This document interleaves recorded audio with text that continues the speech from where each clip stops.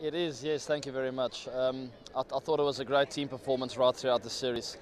Uh, I asked the guys to, to come to the party with a lot of energy, uh, a lot of intensity, and a good attitude, a good aggressive attitude, especially against a team like Pakistan, who's a world class team. But if, you, if you're there with a, with a great aggressive attitude, um, it, it, just gives you that edge. And, and the guys responded a hell of a well um, right throughout the series. Uh, we, uh, we've been in some difficult spots, uh, especially in that second ODI, and, and, responded really well in the third and fourth and the fifth ODI. So having won three in a row now, I feel we, we've come a long way as, as an ODI team. It's not a huge step, but we're definitely going in the right direction. Yeah, there are quite a few points that, that, we, um, that we developed really well in as a team. Um, firstly, playing together as a team is the most important thing to me. Um, having that kind of intensity on the field, especially in the park, helping out the bowlers in the field um, with that kind of intensity makes the jo they, their job a lot easier. Um, the, the, batting came to the party. Um, we've been in a lot of pressure as a batting unit right throughout the series, coming into the series, especially after a, bad, a disappointing performance in Sri Lanka.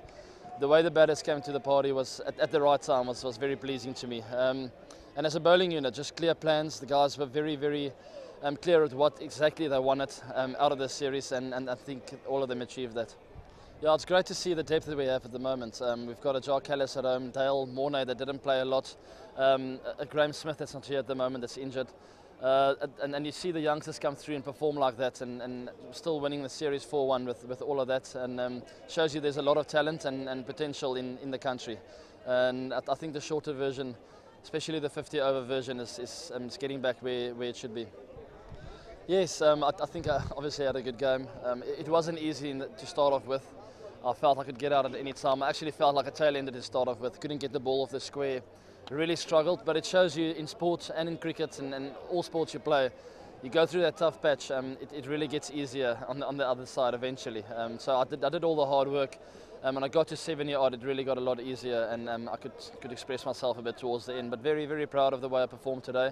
Um, it's always nice as a captain to, to lead from the front and to perform like that. You feel like you, you're pulling your weight as well, especially looking back at my record for the last 10 games. I haven't scored a lot of runs. So to come through with 100 at the end, um, it, it gives me a lot of pleasure.